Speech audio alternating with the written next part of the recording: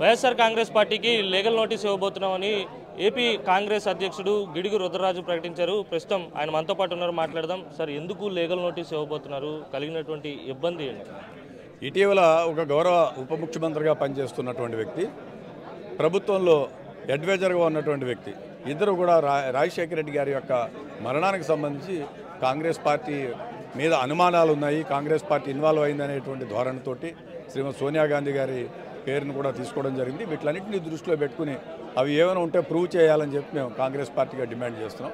So దాని మీద న్యాయాన్ని ఎందుకంటే ఇప్పుడు ఉన్నటువంటి పరిస్థితుల్లో సమాజంలో మాకు కావాల్సినటువంటిది న్యాయం. రాజశేఖర రెడ్డి గారి అభిమానులుగా మేమందరూ కూడా కోరుకునేది ఏ విధంగా చనిపోయారో ఈ రాష్ట్ర ప్రజలకి ఈ దేశ ప్రజలకు తెలియాలి. జగన్మోహన్ రెడ్డి గారు ఐదు సంవత్సరాలు లీడర్ ఆఫ్ అపోజిషన్గా చేశారు. నాలుగున్నర సంవత్సరాలు ఇప్పుడు ముఖ్యమంత్రిగా పనిచేశారు. రెండు వేల పద్నాలుగు నుంచి ఈ వేల వరకు కూడా కేంద్రంలో ఉన్నటువంటి భారతీయ జనతా పార్టీతో ఉపరాష్ట్రపతి ఎన్నిక కానీ రాష్ట్రపతి ఎన్నిక కానీ వివిధ సందర్భాల్లో బిల్స్ కానీ అన్నిటితోటి వాళ్ళ ఎన్డీఏ భాగస్వామి పక్షంగానే వ్యవహరిస్తున్నారు. అటువంటిది వారు లీడర్ ఆఫ్ అపోజిషన్ అయినప్పటి నుంచి ముఖ్యమంత్రి అయిన వరకు వరకు ఒక్కరోజు కూడా ప్రభుత్వాన్ని డిమాండ్ చేయలేదు. సిబిఐ ఎంక్వైరీ చేయాలని గతంలో కాంగ్రెస్ పార్టీ అధికారంలో ఉన్నప్పుడు మాత్రం డిమాండ్ చేసేవారు.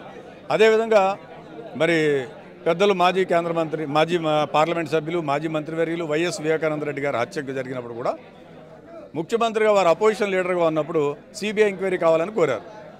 ఇప్పుడు ముఖ్యమంత్రి అయిన వెంటనే సిబిఐ అక్కర్లేదన్నారు. సో వీటిలన్నింటినీ చూస్తుంటే ఏదో ఒక అనుమాన కోణం కనబడుతోంది సో పార్టీ శ్రేణులకు కానీ రాష్ట్ర ప్రజలకు కానీ దేశ ప్రజలకు కానీ తప్పనిసరిగా ఈ యొక్క విషయం మీద క్లారిటీ రావాలి.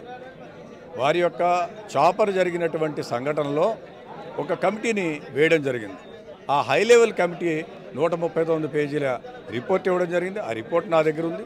దాంట్లో వాళ్ళు యాక్సిడెంట్ అని చెప్పడం జరిగింది. పైలట్ మాట్లాడిన మాట కో పైలట్ మాట్లాడిన సంభాషణ ఇవన్నీ కూడా ఉన్నాయని చెప్పారు. మరి నిన్న వాళ్ళ పార్టీ వాళ్ళు ఈ విధంగా చెప్తున్నారు కాబట్టి మాకు కూడా ఏదో ఇందులో కుట్రకోణం ఉందని అనుమానం వస్తుంది. నిజం నిగ్గు తేలాలి.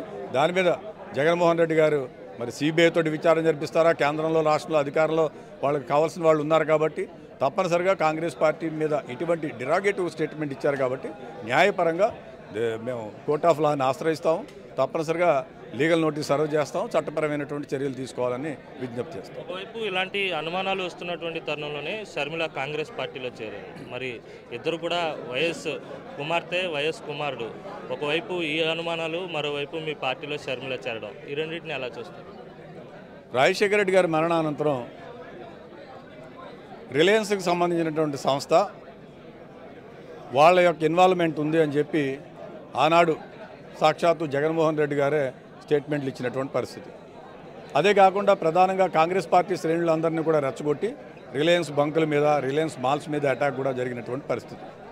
అటువంటి రిలయన్స్ సంస్థకు చెందినటువంటి వ్యక్తి వస్తే రెడ్ కార్పెట్ వెల్కమ్ వేసి వారితోటి విందులు చేసి వారి యొక్క ఒక వ్యక్తిని రాజ్యసభకు ఆంధ్రప్రదేశ్ నుంచి వీళ్ళ గుర్తు మీద ఫ్యాన్ గుర్తు మీద పంపినటువంటి గనుడు జగన్మోహన్ రెడ్డి. సో తప్పనిసరిగా ఇవన్నీ కూడా నిజాలు నిగ్గు తేలవలసినటువంటి అవసరం ఉంది. జగనన్న బాణంగా రాత్రి పగలు మూడు వేల కిలోమీటర్ పైచీలకు పాదయాత్ర చేసినటువంటి శ్రీమతి షర్మిల గారు. దూరం అయిపోయాడు రక్తాన్ని పంచిపుట్టినటువంటి షర్మిల గారు.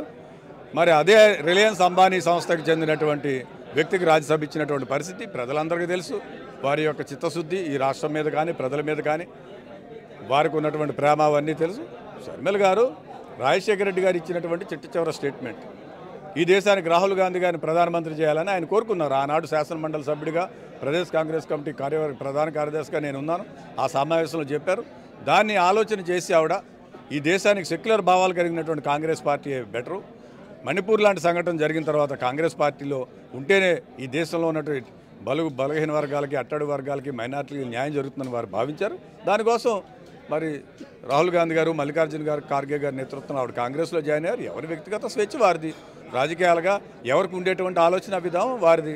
సో అందువలన వారి ఈవేళ కాంగ్రెస్ పార్టీలో జాయిన్ అయ్యారు కదా అని చెప్పి కావాలని ఆవిడని కార్నర్ చేయాలని ఇటువంటి లేనిపోని కాంగ్రెస్ పార్టీ మీద సోనియా గాంధీ గారి మీద మరి లేకపోతే షర్మిల గారి మీద అనేకమైనటువంటి సోషల్ మీడియాలో ట్రోల్ చేయడం కానీ మీడియాలో మాట్లాడడం కానీ అవివేకం. ముఖ్యమంత్రి గారికి చిత్తశుద్ధి ఉంటే సిబిఐ ఎంక్వైరీ జరిపించండి వాటి మీద. నిజాలన్నీ కూడా నిగ్గు తేలాలని కాంగ్రెస్ పార్టీగా మేము కూడా డిమాండ్ చేస్తాం. కాంగ్రెస్ పార్టీలో మాజీ ఎమ్మెల్యేలు చేరబోతున్నారని చెప్పారు. ఇందాక ఎవరా ఎమ్మెల్యేలు ఏంటి ఎప్పుడు చేరబోతున్నారు? చేరినప్పుడు నేను చెప్తాను మీకు. త్వరలోనే చేరతారు చేరేటప్పుడు మీకు చెప్పడం చివరిగా ఒక విషయం.